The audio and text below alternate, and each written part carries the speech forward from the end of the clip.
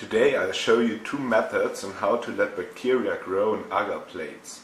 For that you'll need pipette tips, a one year old infusion of hay, which is just some pond water with dry grass.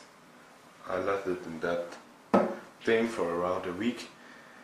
Then you need some cloves, one half of a little petri dish, agar plates. I already showed you how to make them in another video. The link for that is down in the description. A Bunsen burner, a lighter to light the Bunsen burner, some ethanol, a variable pipette, a sterilized spreader rod, and um, an inoculation loop. I watched a drop of that hay um, infusion under the microscope, and um, there were very different many different um, types of bacteria, like, um, for example, Bacillus subtilis. And um, after one week, there's a really strong smell.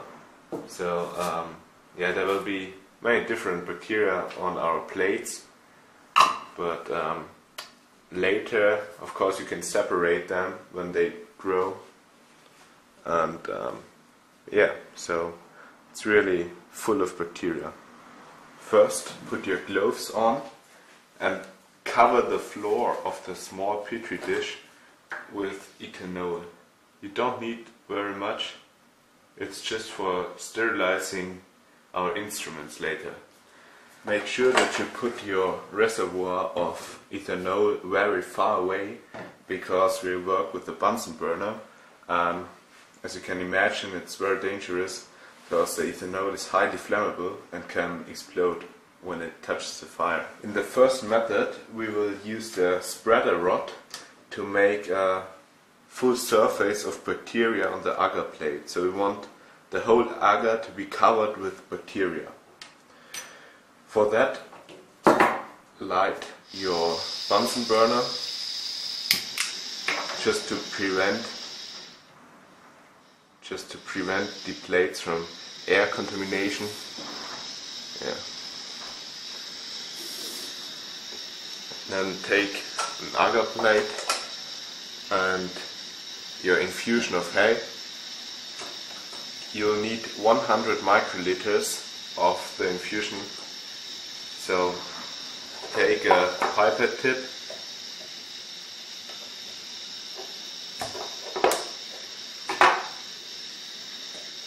take 100 microliters of the infusion in your pipette.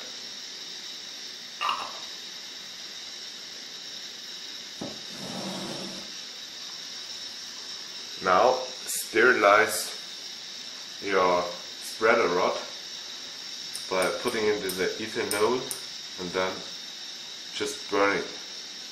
You know, and you can see the flame and now it will be sterilized. But you will do that once again. So put the drop, that 100 microliters of your bacteria mix in the agar plate.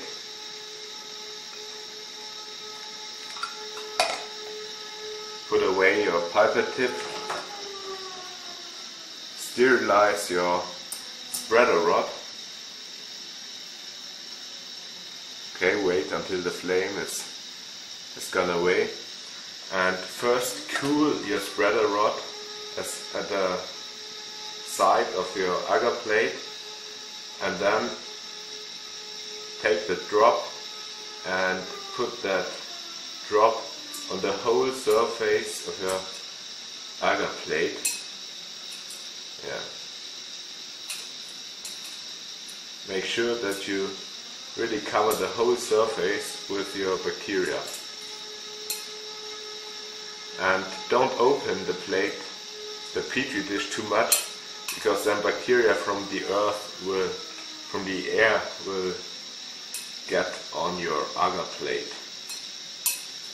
So that was method 1. For method 2 we'll use a inoculation loop, sterilize it and um, take a little drop of our bacteria suspension of the infusion of hay and make um, little lines through our agar plate not too deep just on the surface. And um, after each three uh, lines you sterilize it. And then so you can reach a lower concentration after each step. And here there will be um, maybe no bacteria at all but we will see that later. So now light your Bunsen burner and sterilize your loop, inoculation loop.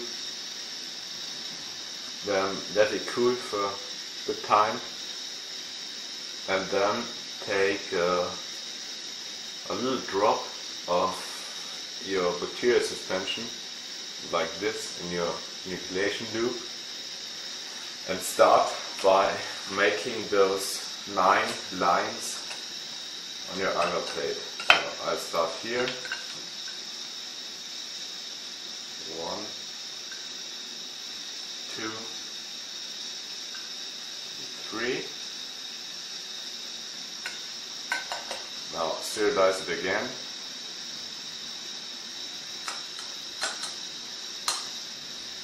And let it cool on a part where there are no bacteria. And make the next three lines.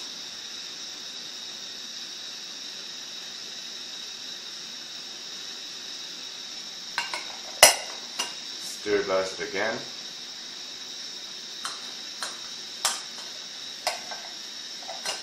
Let it cool. Make the last three lines.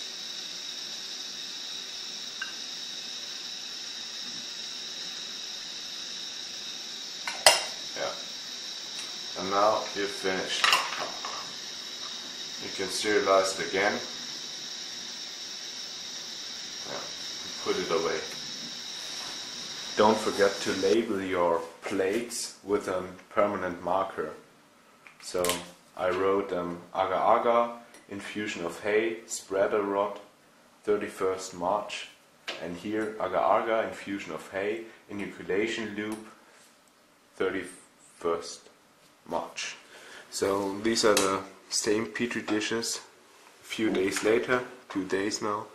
And um, it did not work perfect because um, there are some places left without bacteria as you can see here and um, on this petri dish with the inoculation loop uh, I made um, the lines too long so uh, yeah the concentration was still too high because I didn't do it like here.